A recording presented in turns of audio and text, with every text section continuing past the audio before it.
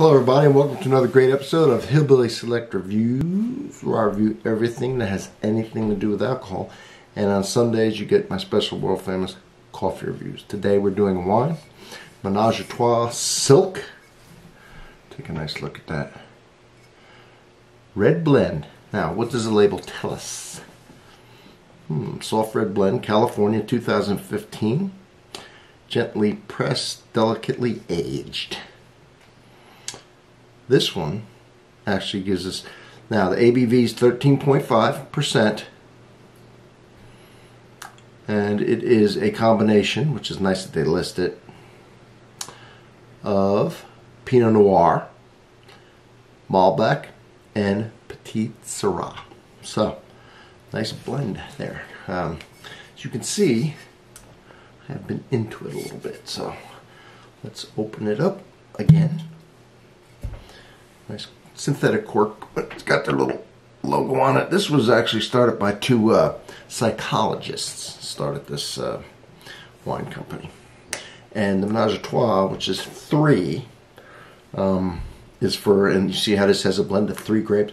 Most of them are blends of three grapes. Not all. I did one that was four grapes. Um, this will be under my red blend, red wine uh, playlist um, red blend wine playlist, which will be attached to the video. Uh, peruse my playlist because I have something for every single person, that is for sure. And please hit the subscribe button while I pour this wine.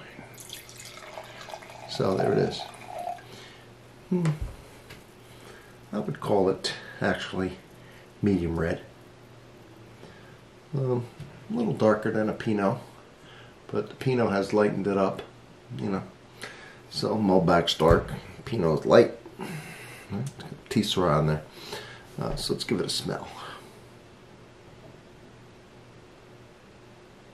Hmm, it's got a nice smell of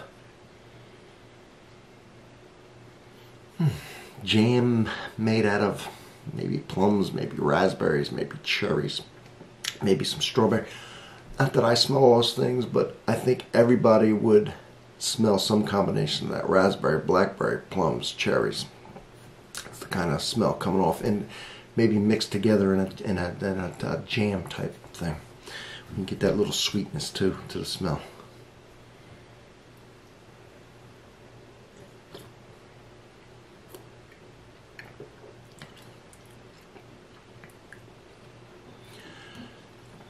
The feel is silky.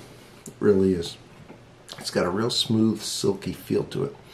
Um, it's got the same taste that I was smelling. There is a little residual sugar in here. Uh, it's not sweet, but there's a little bit of residual sugar. Um, aftertaste isn't bad. Uh, it's an easy drinking wine. Uh, very easy. Uh, very uh,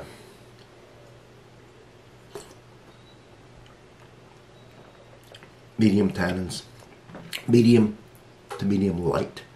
That's why it feels silky. They're they're well integrated. Acid ain't bad either. I don't know if, if they've added acid uh, or if it's natural. Um, they've left some residual sugar in there for sure. Um,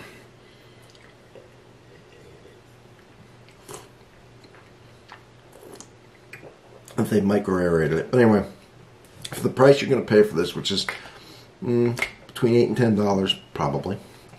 Uh, maybe as much as 12 I wouldn't pay any more than that.